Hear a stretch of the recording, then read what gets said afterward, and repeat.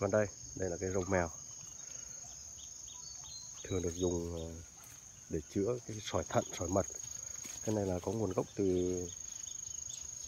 ở các cái vùng ờ, Đông Nam Á như là vùng Malaysia, Indonesia. Tất nhiên ở Việt Nam cũng là Đông Nam Á nhưng mà cái này nguồn gốc từ Indonesia và Malaysia. Do được ờ, các chú các bác ở viện dược liệu hồi xưa mang cái giống về. Ra râu gọi là râu ờ, mèo bởi vì cái khi hoa nó nở lên giống như râu của con mèo nên gọi là râu mèo. Đấy, khuyên là chữa được các bệnh sỏi thận và sỏi thận sỏi đường tiết niệu và sỏi mật. Rất là dễ trồng dùng cái cành cắm vào nhất là mùa mưa hoặc là cắm cắm trong bình tưới nước là nó sẽ sống ngay.